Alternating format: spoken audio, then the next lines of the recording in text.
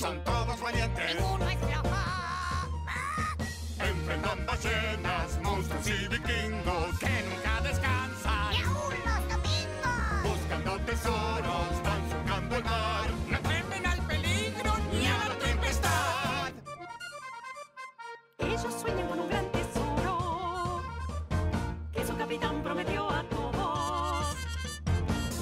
historia sea Que cierta. exista un tesoro al final de cuentas. Vamos con nariz de lata a navegar.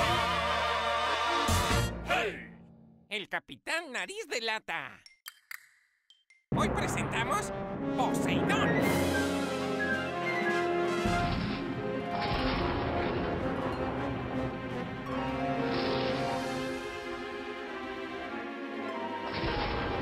¡Ah! ¡Mis engranajes están crujiendo! Si este barco se sigue moviendo así, me voy a desarmar, desarmar. Yo propongo quedarnos en el próximo puerto y dedicarnos a vender jugos, ¿sí? Sí, también podemos ofrecer licuados y... eh, ah, Esta tormenta es demasiado fuerte. No sé si vamos a llegar a puerto. ¡Ay, ay, ay! ¡Es el fin! ¡Socorro! Estos piratas le tienen miedo a una simple tormenta. Algo debo hacer. ¡Es la tormenta más salvaje de todos los tiempos! ¡Estamos perdidos! Así que este suave movimiento les parece la tormenta más salvaje de todos los tiempos. les contaré la historia sobre la más temible tormenta de los siete mares y cómo sobreviví para contarla. ¿Podrá el capitán Nariz de Lata contar una historia lo suficientemente buena para seguir siendo el capitán? ¿O sus piratas buscarán otro capitán con más suerte para encontrar tesoros? ¿Eh? Todo ocurrió durante una gran tormenta que destruyó mi antiguo barco. ¡Cuánta mala suerte, capitán! ¡Capitán! Mm, Sí, tuve algunas malas rachas. Me quedé a la deriva en una balsa improvisada. Solo y al límite de mis fuerzas, me encomendé a las divinidades del mar. ¿Acaso usted cree en las divinidades del mar? ¿Eh? Por supuesto. Y para que alguna viniera rápidamente a auxiliarme, comencé a hacer la típica danza ritual.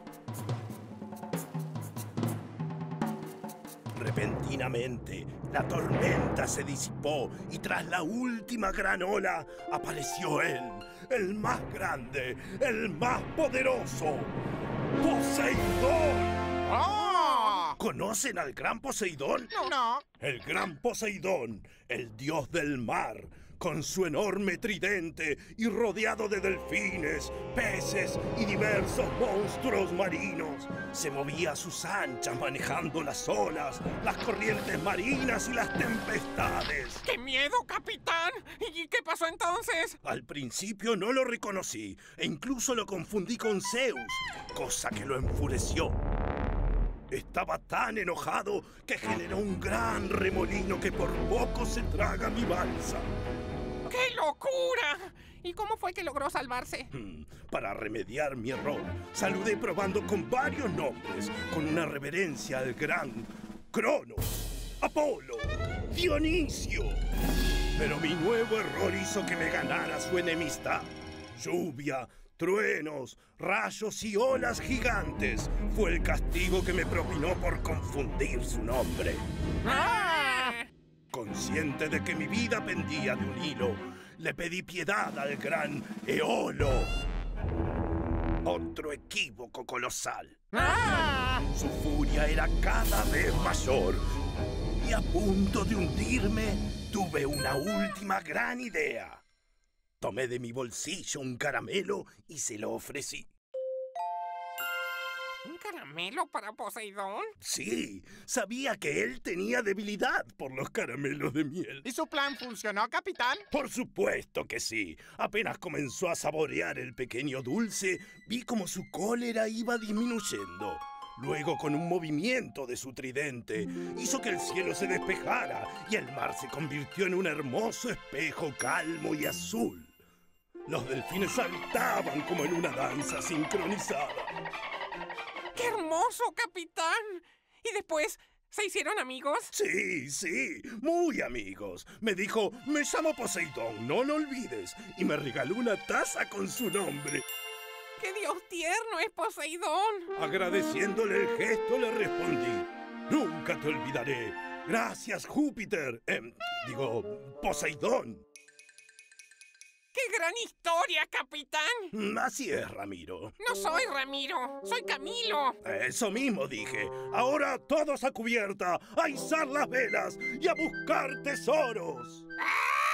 ¡Tesoros! ¡Tesoros! Eso mismo, Esteban.